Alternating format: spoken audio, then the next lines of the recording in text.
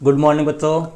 देखो भैया, अपने इतिहास के अंदर सातवां चैप्टर चल रहा था और बड़ा ही इंटरेस्टिंग काफ़ी मोस्ट और एक महत्वपूर्ण चैप्टर है ये अपने। और चैप्टर का नाम था भैया, विजयनगर साम्राज्य। इस चैप्टर की अपने दो क्लास हो चुकी है, काफ़ी लंबा चैप्टर है, लगभग सात से आठ क्लास इस चैप्टर की अपने होगी। आज अपने तीसरी क्लास की चर्चा करेंगे, लेकिन उससे पहले आज का अपना जो क्वेश्चन है, वो आपके सामने है, मीराबाई के गुरु कौन थे? मतलब आपको कमेंट बॉक्स में बताना है भैया मीराबाई के गुरु का क्या नाम था? 2015 की जो एग्ज़ाम हुई थी, उस एग्ज़ाम में यह क्वेश्चन आपके पूछा जा चुका है। क्लियर है? लास्ट अपने वीडियो जो था भैया, उसमें मैंने क्वेश्चन पूछा था कि खालसा पंथ की स्थापना किसने की थी? तो उसका करेक्ट आंसर है भैया, खालसा पंथ की स्थापना जो है, वो सिखों के दसवें और अंतिम गुरु गुरु गोविंद सिंह ने की थी भैया और खालसा का शाब्दिक अर्थ होता है एक पवित्र सेना। जो पाँच चीज़ें धारण करती थी। आपको डिटेल से मेरा बताया हुआ है, क्लियर है? तो इसका आंसर जो है वो आपको कमेंट बॉक्स में देना है कि मीराबाई के गुरु कौन थे। अब बात करते हैं भैया अपने क्लास की और आज का जो अपना टॉपिक है, विजयनगर राजधानी तथा उसके परिप्रदेश। इसके ऊपर चर्चा करेंगे, देखो भैया। देखो, अपने को पहले पढ़ चुके हैं कि विजयनगर जो साम्राज्य था, उस साम्राज्य पर अपने कई वंशों ने शासन किया था। स्थापना हरिहर और बुक्का ने की थी तेरह सौ छत्तीस ईस्वी में। संगम वंश, फिर सुलू वंश, फिर तुल्लु वंश, फिर अराविडो वंश। चार वंशों ने स्थापना की थी और लास्ट वीडियो में अपने बात की थी कि राक्षस तांगड़ी या ताली कोटा का युद्ध हुआ था। इस युद्ध के बाद यह विजयनगर साम्राज्य जो है, वो पतन की ओर बढ़ता गया। ठीक है? अब इसी विजयनगर साम्राज्य में भैया जल की व्यवस्था कैसे थी? वहाँ के राजकीय केंद्र कैसे थे? शासकीय केंद्र कैसे थे? वहाँ पर अपने किलेबंदी किस प्रकार की थी? सड़कें किस प्रकार की थी? उन सारे बिंदुओं के ऊपर आज की अपनी इस क्लास में चर्चा करते हैं। नोट्स में आपको लास्ट में लिखा दूँगा। पहले आप थोड़ा सा इसको समझ लो। समझने के बाद में आपको नोट्स लिखा दूँगा। देखो भैया विजयनगर साम्राज्य में भैया दो शताब्दियाँ आपको याद रखनी है, एक तो पंद्रहवीं शताब्दी और एक सोलहवीं शताब्दी। विजयनगर साम्राज्य के बारे में अपने को जो भी जानकारी मिलती है भैया, वो जानकारी कहाँ से मिलती है? या तो राजाओं के द्वारा जो मंदिरों का निर्माण करवाया गया, उनसे या जो अभिलेख लिखाए गए, उनसे या फिर यहाँ पर जो विदेशी यात्री आए थे, उनके विवरण से हमें क्या मिलती है? जानकारी प्राप्त होती है। तो अब यहाँ पे क्वेश्चन ये आता है कि साहब कौन कौन से विदेशी यात्री आए थे? तो ध्यान रखना भैया, पंद्रहवीं शताब्दी में विजयनगर साम्राज्य की यात्रा पर जो पहला यात्री आया था, उसका क्या नाम था? Niccolo the कॉन्टी। कौंटी भी लिखाता है कौंटी भी लिखाता है, निकोलो द कौंटी भी इसको बोलते हैं भैया। कहाँ का रहने वाला था ये? इतालवी था। ठीक है? इतालवी था कहाँ पर आया था? विजयनगर साम्राज्य की यात्रा पर आया था। विजयनगर साम्राज्य की खोज या विजयनगर साम्राज्य के बारे में जानने के लिए आया था। कब आया था? पंद्रहवीं शताब्दी में। ध्यान रखना भैया, ठीक है? यहाँ पे देखो क्वेश्चन कैसे पूछ सकते हैं। क्वेश्चन ये पूछ ले कि विजयनगर साम्राज्य में आने वाला पहला इतालवी यात्री कौन सा था? या विजयनगर साम्राज्य में आने वाला फारस के राजा का दूत कौन था? ऐसे क्वेश्चन आते हैं तो फारस के राजा का दूत पूछ ले तो कौन आया था भैया? अपने अब्दुल रज्जाक आया था। अब्दुल रज्जाक जो था, वो फारस के शासक का दूत था, फारस के राजा का दूत था। यह भी कब आया था? पंद्रहवीं शताब्दी में। इसके बाद में आया था भैया अफानाशी निकितिन। यह कहाँ का था? रूस का था। रूस का व्यापारी था। ये दोनों व्यापारी थे भैया, ध्यान रखना। ये दोनों क्या थे? व्यापारी थे और ये फारस के राजा का दूत था। ये तीनों कब आए थे? पंद्रहवीं शताब्दी में। क्वेश्चन कैसे आएँगे? विजयनगर साम्राज्य का अध्ययन करने के लिए या विजयनगर साम्राज्य में आने वाला पहला इतालवी व्यापारी कौन सा था? या विजयनगर साम्राज्य में आने वाला पहला रूसी व्यापारी कौन था? या विजयनगर साम्राज्य में आने वाले फारस के राजा का दूत कौन था? इस प्रकार से क्वेश्चन आपके पूछे जाते हैं और तीनों ही कब आए थे पंद्रहवीं शताब्दी में? फिर चलते हैं भैया, कौन सी शताब्दी में? सोलहवीं शताब्दी में। सोलहवीं शताब्दी में भैया अपने तीन यात्री आए थे। एक का नाम था बारबोसा। पुर्तगाल का रहने वाला था। दूसरा था भैया डोमिंगो पेस ठीक है? और तीसरा यात्री था उसका नाम था नूनीज। अगर पूरा याद नहीं रख सकते तो इनको शॉर्टकट में याद रख लो। पहला बारबोसा दूसरा डोमिंगो पेस तीसरा नूनीज। नूनीज कहाँ का था? पुर्तगाल का ठीक है? ती, तीनों ही यात्री कब आए थे? सोलहवीं शताब्दी में। लेकिन ज़्यादातर क्वेश्चन यहाँ से पूछे जाते हैं इन तीनों से। और मेन क्वेश्चन ये आता है भैया विजयनगर साम्राज्य में आने वाला पहला इतालवी यात्री कौन था? ओके कोई दिक्कत नहीं है। अब बात करते हैं भैया विजयनगर साम्राज्य में जल संपदा। देखो, यहाँ से अपने क्वेश्चन आता है कई बार। जल संपदा से क्या क्वेश्चन पूछा जाता है कि विजयनगर साम्राज्य में जल की पूर्ति कैसे होती थी? या जल की आपूर्ति वहाँ पर किस प्रकार से होती थी? दो नंबर का अपने क्वेश्चन पूछ ले। तो ध्यान रखना भैया सीधा सा। विजयनगर साम्राज्य आपको बताया हुआ है, दक्षिण भारत में था आपने। ठीक है, कर्नाटक वगैरह का जो क्षेत्र है, वहाँ पर था। यहाँ पर भैया एक नदी बहती है, उस नदी का नाम था कौन सा? तुंगभद्रा नदी। ठीक है, ये तुंगभद्रा जो नदी है भैया, ये एक प्रकार से इस नदी के द्वारा वहाँ पर एक प्राकृतिक कुंड का निर्माण किया गया है। कैसा कुंड? प्राकृतिक कुंड मतलब जो ऑटोमेटिक बन गया है। प्राकृतिक कुंड का निर्माण किया गया है और ये नदी किस, कहाँ बहती थी? उत्तर पूर्व दिशा में बहती थी। उत्तर पूर्व का मतलब समझ गए? ये उत्तर और ये पूर्व अर्थात ये क्षेत्र, ठीक है? विजयनगर साम्राज्य का जो ये क्षेत्र था, यहाँ पर कौन सी नदी बहती थी? तुंगभद्रा नदी बहती थी और इस नदी से भी वहाँ पर एक कुंड का निर्माण किया गया था। उस कुंड से वहाँ पर क्या होती थी? जल की आपूर्ति होती थी। पहला क्वेश्चन। दूसरा, अपने कह सकते हैं कि विजयनगर साम्राज्य से भी एक नहर थी, जिसका नाम था हीरिया नहर। इस नहर से भी वहाँ पर क्या होती थी? जल की आपूर्ति होती थी। देखो, विजयनगर साम्राज्य जो था भैया एक शुष्क क्षेत्र था। वहाँ पर पानी की कमी थी। इसलिए वहाँ पर ये कुंड वगैरह ये नहरों वगैरह, इनसे अपने क्या होती थी? जल की आपूर्ति होती थी। और सबसे मेन चीज़ एक जलाशय बना हुआ था भैया, जिसका नाम था कमलपुरम जलाशय। जलाशय मतलब जहाँ पर जल इकट्ठा होता है। जल इकट्ठा कहाँ पर होता है भैया? जलाशय बोल दो या अपनी भाषा में बोल दो, होज? ठीक है?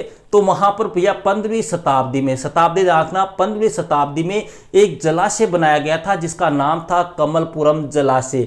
इस जलाशय से भैया वहाँ पर अपने जल की आपूर्ति होती थी। इसी जलाशय से भैया कई छोटी छोटी नहरें निकाली गई थी और उनसे वहाँ पर खेतों की सिंचाई भी की जाती थी। और इसी जलाशय से कौन से? कमलपुरम जलाशय से भैया जो राजकीय केंद्र था मतलब जहाँ राजा वगैरह, उसके सगे संबंधी वगैरह, रिलेटिव वगैरह रहते थे, वहाँ तक भी पानी पहुँचाया जाता था। तो क्वेश्चन पूछ ले, विजयनगर साम्राज्य में जल की आपूर्ति कैसे होती थी?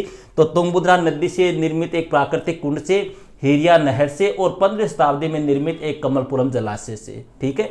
इसको अच्छी तरह से मैं आपको नोट्स में लिखा दूँगा, कोई दिक्कत नहीं आप तो मोटा मोटा इतना याद रखो। अब बात करते हैं भैया विजयनगर साम्राज्य की किलेबंदी और सड़कें। सबसे पहले बात तो आती है कि गुरुजी सड़का सब जानो थे। ठीक है? किलेबंदी क्या होती है? देखो, थोड़ा सा आपको समझा दूँ। जैसे मान लो भैया ये कोई महल है, ठीक है? ये कोई महल है, इस महल के चारों ओर ऊँची ऊँची पत्थरों की दीवार का निर्माण करवा दे।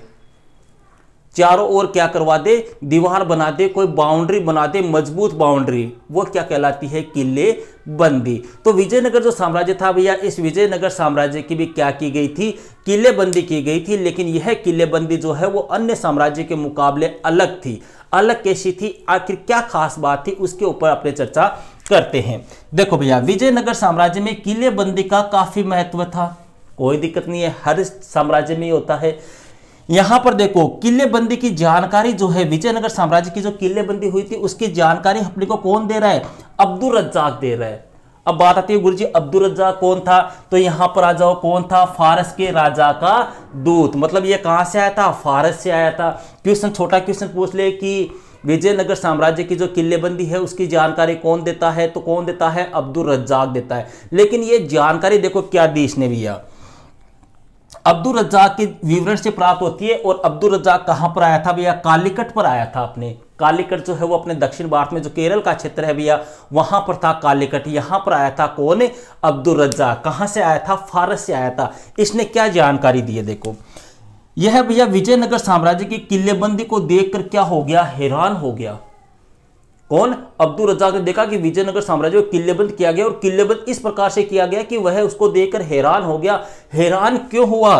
क्यों? क्योंकि इसमें भैया विजयनगर में शहर के साथ साथ खेत और जंगलों को भी क्या किया गया था? किलेबंद किया गया था। लगभग लगभग साम्राज्य में यही होता है कि जो शहर होता है, मेन कस्बा जो होता है, मेन साम्राज्य जो होता है, मेन जो क्षेत्र होता है, उसी को किलेबंद किया जाता है। लेकिन यहाँ पर भी यह शहर को तो किलेबंद किया ही गया था। साथ ही साथ में जो जंगल थे, जो खेत खलियान थे, उनको भी क्या कर दिया गया? किले बंद कर दिया गया। अब यहाँ पर आपको क्वेश्चन पूछ ले कि खेतों को किले बंद क्यों किया गया? ठीक है, उसकी चर्चा करेंगे अभी अपने आगे। अब देखो किलेबंदी किससे होती थी भैया? फतरों से होती थी और फतर कैसे? फानाकार फतर होते थे। मतलब बड़े बड़े फतर होते थे। एक फतर के ऊपर दूसरा फतर।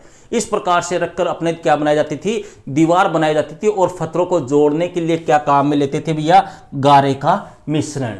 गारे का मिश्रण मतलब जो गार माटी आवे ना आपने, मारवाड़ी बोलते हैं गार माटी। उस गार माटी मिश्रण के या गारे के मिश्रण से भैया पत्थरों को एक के ऊपर एक पत्थर को रखकर, जैसे अभी अपने क्या करते हैं, दीवार बनाने के लिए सीमेंट और ईंट का प्रयोग करते हैं नहीं करते तो वहाँ पर उस समय भी यह सीमेंट नहीं थी। वहाँ पर क्या था? गारा था। गार मिट्टी जो थी, चिकनी मिट्टी जो थी, उनको वो क्या लेते थे? काम में लेते थे। वो पत्थर जो होते थे, वो फनाकार बड़े बड़े आकार के पत्थर होते थे, उन पत्थरों को एक के ऊपर एक इस प्रकार से जचाकर दीवार का निर्माण किया जाता था और पत्थरों को जोड़ने के लिए क्या मिलाया जाता था? गारा मिलाया जाता था। अब देखो भैया, अब्दुल रजाक आगे क्या कहता है? अब्दुल रजाक कहता है कि यहाँ पर पहली, दूसरी और तीसरी दीवार जो है, वो जुते हुए खेत, बगीचे और आवास थे। मतलब पहली दीवार हो गई विजयनगर साम्राज्य की, फिर दूसरी दीवार हो गई फिर तीसरी दीवार हो गई। इस प्रकार ये तीन दीवार थी भैया। ठीक है? इन तीन दीवारों में क्या था? इन तीन दीवारों में भैया जुते हुए खेत थे। मतलब कृषि क्षेत्र था। इसी दीवारों में क्या था? बगीचे भी थे और इन्हीं दीवारों में क्या थे? आवास भी थे। मतलब बगीचों को भी क्या कर दिया गया था? किले बंद कर दिया गया था। आवास जो थे, उनको भी क्या कर दिया? किले बंद कर दिया गया। और जो अपने खेत थे, उन खेतों को भी क्या कर दिया गया? किले बंद कर दिया गया। अब यहाँ पे देखो ध्यान देना, क्वेश्चन पूछते हैं कि विजयनगर साम्राज्य की किलेबंदी का उल्लेख किस विदेशी यात्री ने किया है? तो नाम हो जाएगा, आंसर क्या होगा भैया? अब्दुल रज्जाक। कहाँ से आया था? फारस से आया था। कहाँ पर आया था? कालीकट में आया था। कोई दिक्कत नहीं है। अब बात यहाँ पे क्वेश्चन ये पूछ ले कि विजयनगर साम्राज्य में ज़ाहिर सी बात है, घरों को किले बंद करते हैं, कोई बात नहीं है। लगभग लगभग साम्राज्य में करते थे। चलो, बगीचों को भी कर दिया, लेकिन खेतों को किले बंद क्यों किया गया? यहाँ पे ये क्वेश्चन पूछ सकते हैं आपको कि विजयनगर साम्राज्य में खेतों को किले बंद क्यों किया गया? तो भैया, क्यों किया गया? देखो सीधी सी बात ध्यान रखना भैया, अपने को ज़िंदा रहने के लिए किसकी आवश्यकता होगी? अनाज की आवश्यकता होगी। तो यहाँ पर जो अनाज था, वो अनाज यहाँ पर अपने खेतों के पास में क्या बने हुए थे? अन्नागार बने हुए थे कोठियार जिसको बोलते हैं, जहाँ पर अनाज संरक्षित करते ठीक है? तो यहाँ पर जो अनाज था, उस अनाज की अपने शत्रुओं से रक्षा करने के लिए। मान लो शत्रु आक्रमण करेगा तो सबसे पहले किसको समाप्त करेगा? अनाज को समाप्त करेगा, खाने पाने की क्या करेगा? समाप्ति करेगा, ताकि उनको खाने की, पाने की आपूर्ति ना हो सके। तो शत्रुओं से अनाज की रक्षा करने के लिए या अपने कह दें कि जो पशु वगैरह होते हैं, जंगली जानवर वगैरह होते हैं, उनसे अपने अनाज की रक्षा करने के लिए। ठीक है? या आपने कहते हैं कि जो खाद्य सामग्री होती है, उस खाद्य सामग्री को सुरक्षित रखने के लिए, इसलिए इनका क्या किया गया था? किलेबंद किया गया था। क्लियर है? कोई दिक्कत नहीं है। किस लिए खाद्य सामग्री और अनाज की क्या करने के लिए, रक्षा करने के लिए। रक्षा किससे भी या चाहे जंगली जानवर, पशुओं से रक्षा हो, या जो विदेशी आक्रमणकारी है, या जो हमलावर है, या जो शत्रु है, या जो दुश्मन है, जब वो हमारे ऊपर आक्रमण करे तो वो खेतों को नुकसान ना पहुँचा सके, अनाज को नुकसान ना पहुँचा सके। इसलिए खेतों को भी क्या किया गया था? किलेबंद किया गया था। बड़ा अच्छा क्वेश्चन है, दो नंबर का आपको पूछा जा सकता है। तीसरी, आगे बात करते हैं भैया। अब देखो पहले किलेबंदी हो गई, दूसरी किलेबंदी में क्या थे भैया? नगरीय केंद्र थे। कौन से? अपने नगरीय केंद्र के जो आंतरिक भाग थे। मतलब नगर आ गया भैया, ये कोई नगर हो गया, विजयनगर साम्राज्य, इसका जो आंतरिक क्षेत्र था, उस आंतरिक क्षेत्र को क्या किया गया था? किलेबंद किया गया था। कोई विशेष नहीं है। यहाँ पर देखो, ऐसे क्वेश्चन पूछ सकते हैं आपको। तीसरी किलेबंदी है, उसमें किसको किलेबंद किया गया था? शासकीय केंद्र को। समझ गए? मतलब पहले में कौन आ गए खेत वगैरह रिया आ गए दूसरे में कौन से आ गए नगरीय केंद्र के आंतरिक भाग आ गए तीसरे में कौन से आ गए शासकीय केंद्र। मतलब जहाँ से राजा शासन का संचालित करता था मेन क्षेत्र। ठीक है? अब यहाँ पे क्वेश्चन पूछ ले कि विजयनगर साम्राज्य में तीसरी किलेबंदी से किसको किलेबंद किया गया था? तो शासकीय केंद्र को। या क्वेश्चन पूछ ले, नगरीय केंद्र के आंतरिक भाग के चारों ओर कौन सी किलेबंदी थी? तो दूसरी किलेबंदी थी। क्लियर है, कोई दिक्कत नहीं है अपने, आगे चर्चा करते हैं भैया। दुर्ग में प्रवेश के लिए भैया क्या बना हुआ था? प्रवेश द्वार थे। प्रवेश द्वार का मतलब भैया अपने कोई भी, कहीं भी अपने जा रहे हो, मान लो, जैसे कोई महल है, ये महल हो गया। ठीक है, ये महल हो गया। इस महल के चारों ओर क्या की गई है? किलेबंदी की गई है। लेकिन इस किलेबंदी की एक खास बात होती थी कि इस किलेबंदी के अंदर या अपने महल में जाने के लिए यहाँ पर क्या होते थे? प्रवेश द्वार होते थे। मतलब मेन दरवाज़ा होता था जिससे होकर एंट्री की जा सके, जिससे होकर बाहर आ सके। कोई दिक्कत नहीं है। जो शहर को मुख्य सड़कों से जोड़ते थे, कौन? ये प्रवेश द्वार जो थे भैया, ये किससे जोड़ते थे? अपने मुख्य सड़क पर निकलते थे या मुख्य सड़क पर खुलते थे। आगे चर्चा करते हैं। प्रवेश द्वार के ऊपर भैया क्या बने हुए थे? महराब और गुबंद बने हुए थे। इसको ध्यान रखना भैया। महराब क्या होता है? कोई भी दरवाज़ा है, उस दरवाजे के ऊपर आपने किसी प्रकार की कोई डिज़ाइन वगैरह बना दी, उसको क्या बोलते हैं? महराब। कुछ भी आपने बना दी, कोई डिज़ाइन वगैरह बना दी, ठीक है, वो तो क्या हो गई? महराब। दूसरा वर्ड आता है भैया गुब्बंद। ये गुब्बंद देखो क्या है? गुब्बंद ये अपने जो तुर्की सुल्तान अपने भारत में आए थे, या जो इस्लामी शासक आए थे, उन इस्लामी शासकों ने अपने इनका क्या किया गया था? निर्माण किया था, या इस परंपरा को इन्होंने प्रारंभ किया था। देखो होता क्या है? जैसे मान लो भैया ये प्रवेश द्वार आ गया, ठीक है? कोई दिक्कत नहीं है, प्रवेश द्वार इसी प्रकार का होता है। इसके ऊपर आपने कोई डिज़ाइन बना दी, वो तो हो गया मेहराब। लेकिन इसी के ऊपर जैसे आपने यहाँ पर इस प्रकार की संरचना बना दी, ठीक है? इसको क्या कहते हैं अपने महराब? और ये महराब किन की देन थी? इस्लाम की देन थी या जो तुर्की सुल्तान थे, उनकी देन थी, ठीक है? इसीलिए भैया इस महराब और गुबन जो बनाए गए थे, इसको अपने क्या नाम दिया गया है? इंडो इस्लामिक शैली कहा गया है। क्यों? क्योंकि ये तो अपने हिंदुस्तान का तो ये तो होता ही अपने ऐसा। तो इंडो का मतलब इंडिया, इस्लामिक मतलब इस्लाम। गुबन किन की देन थी? इस्लाम की देन थी। दरवाज़ा तो अपने इंडिया का हो गया और उसके ऊपर गुबन बना रहे हैं, वो किसकी देन हो गई? इस्लाम की देन हो गई। इसलिए इस शैली को क्या नाम दिया गया है? इंडो इस्लामिक शैली। ध्यान रखना भैया, ये क्वेश्चन कई बार अपने एग्ज़ाम में आता है।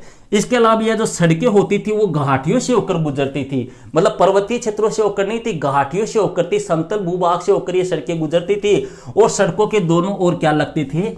बाज़ार लगते थे। कोई दिक्कत नहीं है। यहाँ से भैया अपने चीनी मिट्टी, मस्जिद, मकबरे, मुस्लिम मोहल्ले के भी क्या मिले हैं? साक्ष्य मिले हैं मतलब विजयनगर साम्राज्य से। यहाँ पर भैया एक यात्री आया था, जिसका नाम था बारबोसा। अब गुरु जी बारबोसा कौन था? आ जाओ वापस यहाँ पर। ये रहा भैया कौन? बारबोसा। कब आया था? सोलहवीं शताब्दी में। कहा के यात्री था? पुर्तगाल के यात्री था भैया। इस बारबोसा ने देखो भैया क्या कहा है। बारबोसा ने कहा है कि लोगों के जो अन्य आवास थे वो किसके बने हुए थे? छप्पर के बने हुए थे। छप्पर आप सब लोग जानते हो, छप्पर क्या होता है? छप्पर के बने हुए थे और वहाँ पर लंबी लंबी गलियाँ थी, मंदिर मिले हैं और वहाँ पर क्या बने हुए थे? जलाशय बने हुए थे मतलब छोटे मोटे कुंडे बने हुए थे पानी के लिए। अब बात करते हैं भैया राजकीय केंद्र की। राजकीय केंद्र मतलब वहाँ पे जो राजकीय केंद्र था, उसकी क्या स्थिति थी? तो भैया, राजकीय केंद्र जो था, वो कहाँ पर था? दक्षिण पश्चिम में था मतलब विजयनगर साम्राज्य के दक्षिण पश्चिम में क्या था? राजकीय केंद्र था भैया। और इस राजकीय केंद्र में कितने मंदिरों के अवशेष मिले हैं? लगभग साठ से अधिक क्या थे? मंदिर थे। मैंने आपको फ़र्स्ट क्लास में बताया था कि विजयनगर साम्राज्य के जो राजा थे, उन्होंने चोल, पांडे जो शासक थे, उन शासकों की देखे देखे यहाँ पर किनका निर्माण करवाया? मंदिरों का निर्माण करवाया, मंदिरों को संरक्षण दिया। और यहाँ से भैया अपने तीस क्या मिले हैं? महल जैसी संरचनाएँ भी मिली है। मतलब तीस क्या मिले हैं? महल नुमा अपने भवन मिले हैं, जिनको देखकर ऐसा लगता है कि ये क्या हो सकते थे? राजा महाराजाओं के या उनके जो राजा महाराजाओं के मंत्री वगैरह या सेनापति वगैरह थे, उनके क्या थे? महल थे। ये सारी चीज़ें अपने कहाँ से मिली है? राजकीय केंद्र से मिली है? कहाँ पर था? दक्षिण पश्चिम में। क्या कितने मंदिर मिले हैं? साठ से अधिक मंदिर। कितनी महलनुमा संरचना मिली है? तीस। क्लियर है? ये इतने टॉपिक अपने हो गए भैया। अब नेक्स्ट क्लास जो होगी, उसमें एक बड़ा ही इंपॉर्टेंट टॉपिक अपने पढ़ेंगे, जिसको बोलते हैं महानवमी डब्बा। ठीक है? उसकी चर्चा आपने नेक्स्ट क्लास में करेंगे। आप कॉपी निकालो और हेडिंग लगाओ। विजयनगर राजधानी तथा उसके परिप्रदेश। ठीक है? और इसमें लिखो भैया आप।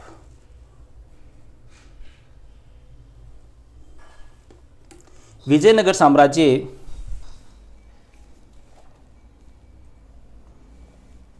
सबसे प्रसिद्ध शहरों में से एक था। विजयनगर साम्राज्य उस समय के सबसे प्रसिद्ध शहरों में से एक था, जहाँ पर, जहाँ से विजयनगर के राजाओं तथा उनके नायकों के बड़ी संख्या में अभिलेख मिले हैं। उन अभिलेखों से मंदिरों को दिए जाने वाले दान और महत्वपूर्ण घटनाओं की जानकारी प्राप्त होती है। इसी विजयनगर साम्राज्य की कई यात्रियों ने यात्रा की, जिनमें प्रमुख यात्री इस प्रकार है। ऐसा का ऐसा उतार लो भैया, पंद्रहवीं शताब्दी में ये तीनों, सोलहवीं शताब्दी में ये दोनों, ऐसा का ऐसा उतार लो, ठीक है? फिर हेडिंग लगाओ, जल संपदा, और हेडिंग लगा के फिर यहाँ पे इसके साथ में क्वेश्चन भी लिख लो भैया। बड़ा अच्छा क्वेश्चन आता है कि विजयनगर के, विजयनगर साम्राज्य की जल आवश्यकताओं को किस प्रकार पूरा किया जाता था? ये क्वेश्चन भैया अपने दो बार आ चुका है सीबीएसई बोर्ड में 2019 में भी आ चुका है और 2020 में भी आ चुका है, ठीक है? इसीलिए मैं आपको इसको लिखा रहा हूँ, थोड़ा सा लिखो आप इसमें। विजयनगर जैसे विशाल साम्राज्य को जल की आपूर्ति तुंगभद्रा नदी से निर्मित, तुंगभद्रा नदी से निर्मित एक प्राकृतिक कुंड से होती थी। यह नदी उत्तर पूर्व दिशा में बहती थी। उत्तर पूर्व दिशा में बहती थी।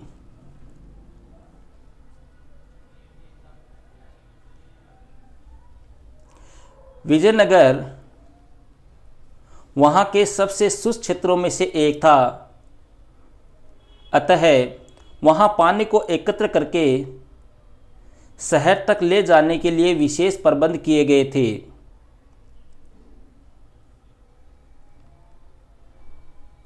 यहाँ के सबसे महत्वपूर्ण, यहाँ के सबसे महत्वपूर्ण जलाशय जलाशय कमलपुरम का निर्माण पंद्रहवीं शताब्दी के आरंभिक वर्षों में हुआ, जिसके पानी से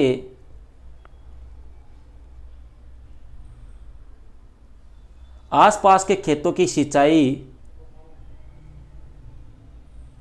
तथा शाही केंद्र को भी जल की आपूर्ति होती थी। आगे लिखो, कमलपुरम जलाशय के अतिरिक्त हेरिया नहर एक अन्य महत्वपूर्ण नहर थी, जिससे तुंगभद्रा पर बने बाँध में, जिससे तुंगभद्रा पर बने बाँध से पानी लाया जाता था। इस जल का प्रयोग धार्मिक केंद्र से शहरी केंद्र को फर्तक करने वाली घाटी की सिंचाई करने के लिए किया जाता था। इन, इनके अलावा जल के मुख्य स्रोत कुएँ और जलाशय भी थे। ठीक है? अब हेडिंग लगाओ भैया किलेबंदी और सड़कें। किलेबंदी और सड़कें। इसमें लिखो।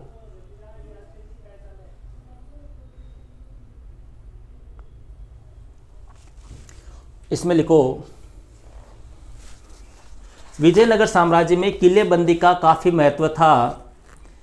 किलेबंदी की जानकारी, फारस के राजा के दूत अब्दुल रज्जाक के विवरण से मिलती है, जो पंद्रहवीं शताब्दी में कालिकट आया। अब्दुल रज्जाक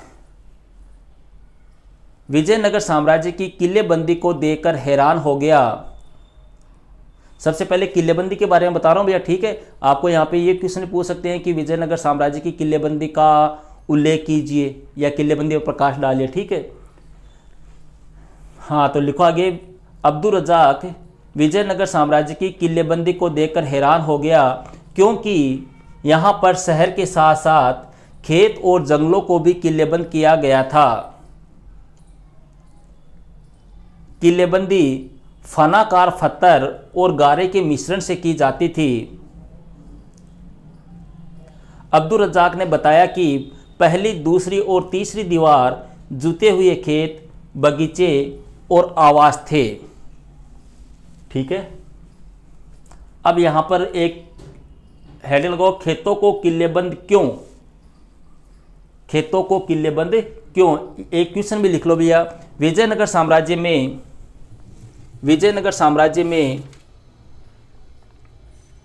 कृषि क्षेत्र को किलेबंद क्यों किया जाता था?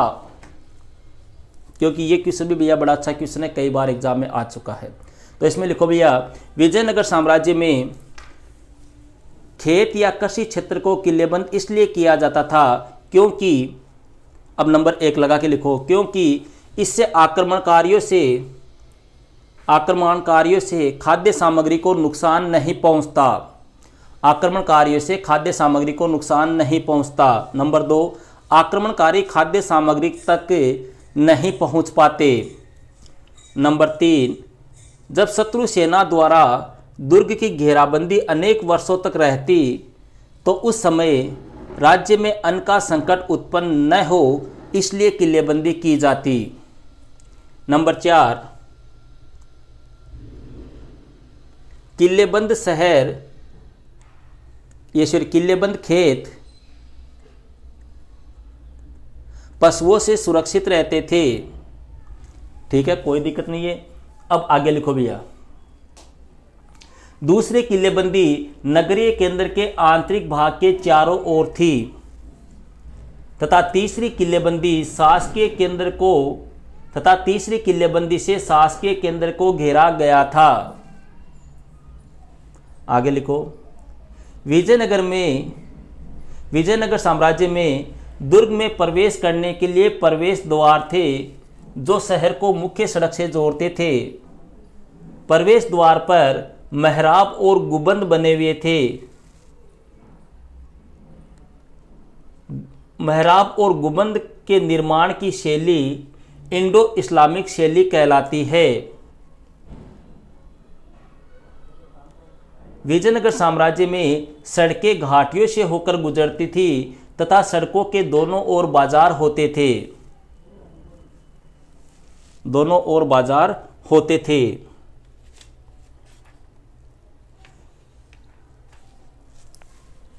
यहाँ से चीनी मिट्टी, मस्जिद, मकबरे, मुस्लिम मोहल्ले के साक्ष्य भी मिले हैं।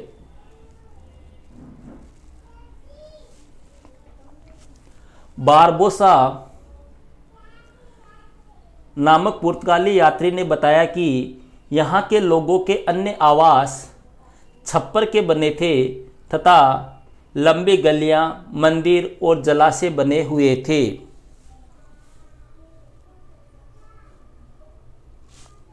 अब हेडिंग लगाओ भैया। हेडिंग लगाओ। राजकीय केंद्र।